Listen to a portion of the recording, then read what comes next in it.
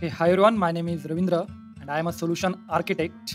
I welcome you to my YouTube channel. Hi everyone, so today's video we will see how to create data dataverse table using Copilot. This is a preview feature that is announced by the Microsoft. Okay, so this blog I have written in the short. Okay, you can go read this blog. Okay, and we will see this practically as well. Okay, so this is the link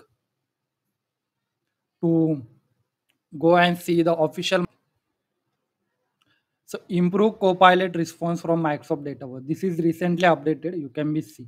So let's we go to the Power Apps and see how to create Dataverse table by using our new feature. Okay. So I'm dot power Apps.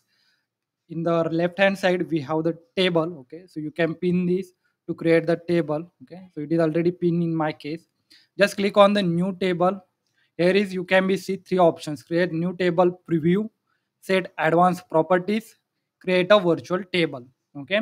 So this is our old one set advanced property. You can be see in this way we will create our previous table. Okay? But now we have this new feature create new table in preview.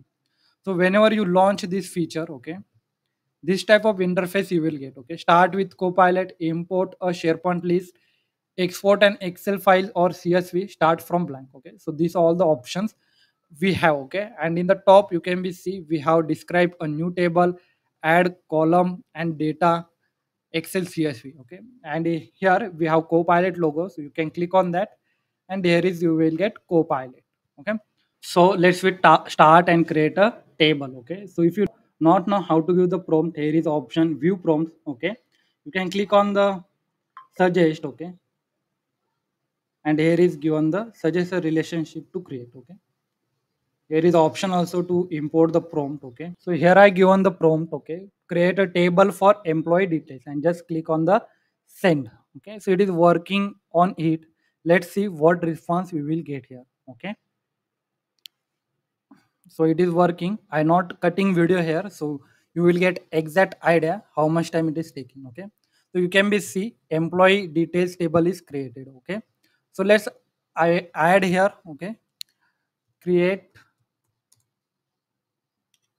leave. So here i given the prompt create a department table okay. And i, I click on the send. So it is working on it. Let's see what output we will get. So you can be see we are get two columns here okay. Employee okay. And department is one to many to one relationship okay. So this column is table we not needed okay let's i click and click on the delete so you can see it is very easy to create a table. I add here one. So here I give on the prompt add email column in employee table and let's click on the enter here simply. So it is adding email column. You can be see we have now email column here. Okay. So simply you can click on the save and exit. Your column will create automatically. Yeah, save and exit. So in this way you can create your Dataverse table by using an Copilot feature. This is excellent feature. I recommend you to use this feature. Thank you friends. Have a nice day to you. Keep learning, keep growing, keep exploring.